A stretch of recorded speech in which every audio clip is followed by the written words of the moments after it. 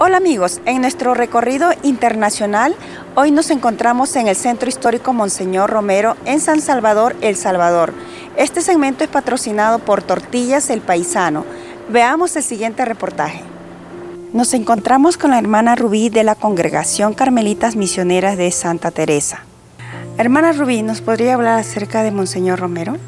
Bueno, hablar de nuestro Beato Oscar Anolfo Romero es, es amplio, grandísimo, pero hablaría un poco de lo que, por qué Monseñor Romero pues decide acompañar nuestra obra, ¿verdad?, en el Hospital Divina Providencia y ser amigo de las Carmelitas Misioneras de Santa Teresa también, porque él viene a vivir acá también acompañar, ¿verdad? Junto con los pacientes que él dice, pues es una obra donde encuentra al Cristo crucificado y eso lo identifica con nuestra obra del hospitalito.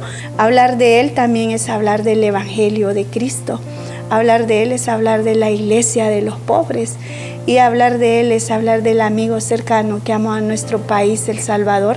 Aquí está su casa donde él vivió después de haber asumido la arquidiócesis en el año 77. Aquí va a encontrar sus pertenencias episcopales, su grabadora donde él grabó el diario, su ropa martirial que es tan sagrada para nosotras, sus libros personales, bueno, todo lo, muy propio de él aquí en su casa, su vehículo que tenemos a un costado también, la gruta donde está también parte de los restos de Monseñor, lo que es su víscera. Y de manera muy especial encontramos la capilla martirial, que es donde él donó, ofrendó su vida, ¿verdad? Allí al lado del altar, que es la capilla expiatoria Divina Providencia, acá mismo dentro del Hospital Divina Providencia. ¿Qué nos podría decir acerca del legado que él ha dejado acá? Bueno, el legado que nosotras consideramos es el amor profundo que, nos invita a su palabra, ¿verdad? A amar a la iglesia profundamente como Él amó. Él decía al magisterio de la iglesia, a la misma iglesia, y un legado de, que, de querer forjar la unidad, ¿verdad? De querer forjar la paz. Y, la comunión que debemos de tener como hermanos en cuanto a la fraternidad que él tanto anhelaba. ¿Podría ser una invitación a todo el público que les va a estar viendo?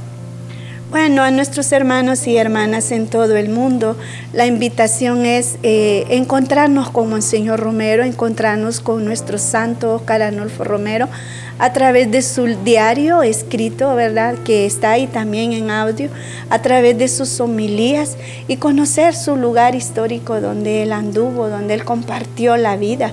Eso es lo más importante y que forcemos, como él dice en parte de su homilía, que lo que podamos hacer, hagámoslo, ¿verdad? Con lo que podemos. Desde el Centro Histórico Monseñor Romero, este segmento fue patrocinado por Tortillas El Paisano. Desde San Salvador, El Salvador para Estilos TV, Ana Pariona.